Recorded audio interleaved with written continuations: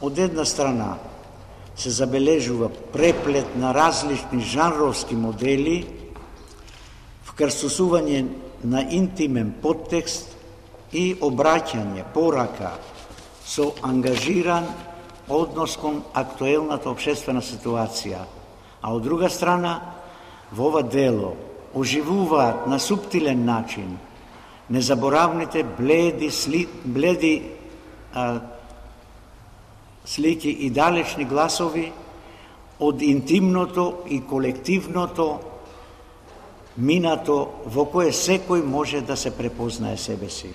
Дебитанската поетска книга Мостот на копнежите од Сузана Мицева во себе носи сериозен амалгам од поетски слики, произлезени од автентично женско поетско писмо, слики кои никнуваат од еден сериозен емоционален колорит, кои прашуваат, одговараат, слики кои во себе содржат цели светови и мигови едновремено и кои го предизвикуваат читателот да го подвргне својот емоционален свет и апарат и да се учествува со гласот на текстот низ лавиринтите на душата.